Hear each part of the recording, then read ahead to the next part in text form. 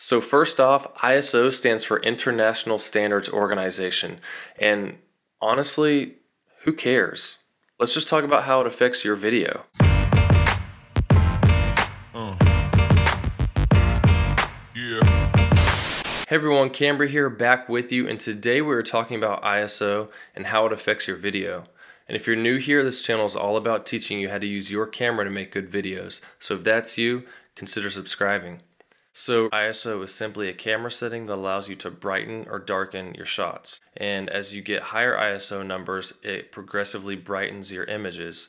And so ISO is a great tool to use, especially in dark environments, and it allows you to be more flexible in shaping your shots through your choice in aperture and shutter speed. Remembering that a stop of light is a doubling or halving of the amount of light let in when taking a photo or video, you can know exactly how any change in your ISO will affect your exposure, because any doubling of your ISO number will result in a brighter image by one stop, while any halving of your ISO number will result in a darker image by one stop. Looking at this picture, we can see that it's underexposed by two stops of light based on the metering scale.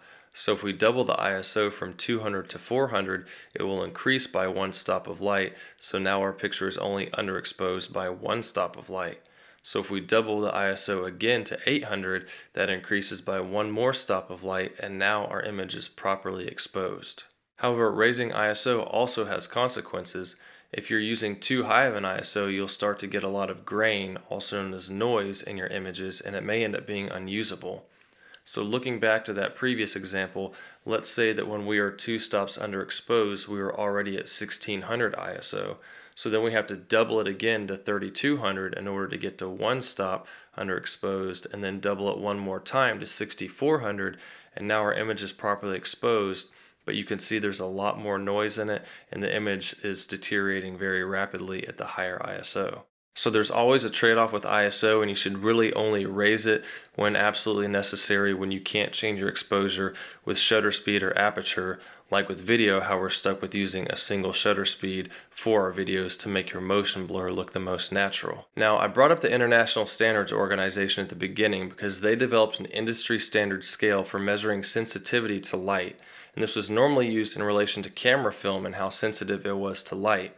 Because when you would buy film, you would buy a certain film speed or ISO, and at the lower numbers, it would be less sensitive to light, and as you got up to the higher film speeds or ISO, it would be more sensitive to light. And nowadays, with digital cameras, it's commonly said that ISO is your camera sensor's sensitivity to light. However, it's not quite true because your camera sensor only has one light sensitivity level. Instead, with digital cameras, there's a whole different process that goes on for boosting exposure based on ISO.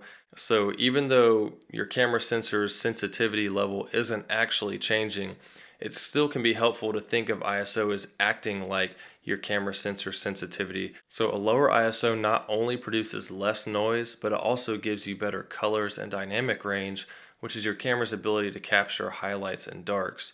And so it's recommended that you use the lowest ISO possible in order to get the best quality out of your camera. And you can do this by using lights to light your scenes properly and opening your aperture as necessary to let more light into your camera. However, you won't always be able to keep the ISO at the lowest setting when you run into low light situations or times where you may want to have a more narrow aperture to have a deeper depth of field, and so you have to raise your ISO in order to compensate for your exposure. And certain cameras like the Sony a7S Mark II do really well in low light and I've been able to use that camera at 12,800 ISO in a wedding before and still been able to use the footage. However, I wouldn't suggest that with most cameras, especially if they don't have a full frame camera sensor. So just take your camera, test it out at different ISO levels and see what's your personal limit for usable footage and try not to go above that. And that's all I have for ISO. So if this was helpful, hit that like button and let me know down below if you have any more questions about ISO. Go ahead and subscribe if you haven't and remember that the only way to get better at something is to practice. So get out there and film something. See you soon. Uh.